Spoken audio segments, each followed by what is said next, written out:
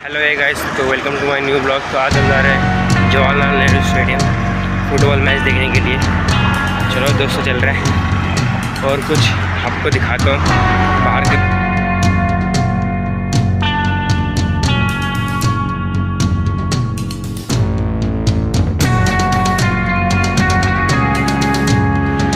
चलो चल और ये देख सकते हो